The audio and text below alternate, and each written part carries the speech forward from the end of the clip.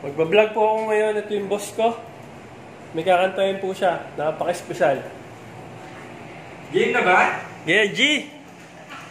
Okay, itong kanta na to, Para sa mic ko. ginawa ko. ginawa ko lang. Okay, kanta na tayo ha.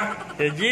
Bahay kubo, kahit munti, ang posisyon doon ay sari-sari. Alright. Tigas ng talong. Ano ba? Itinasok sa mani. Focus! Ah, nag-ano eh, nag-kunyong ulit-ulit, nag-kunyong screen. Sige, sige. Okay lang. Take two, take two.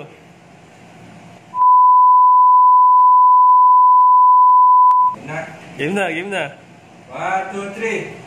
Bahay kubo, kahit munti, ang posisyon doon ay sari-sari. Sitigas ng talong, ipinasok sa mani.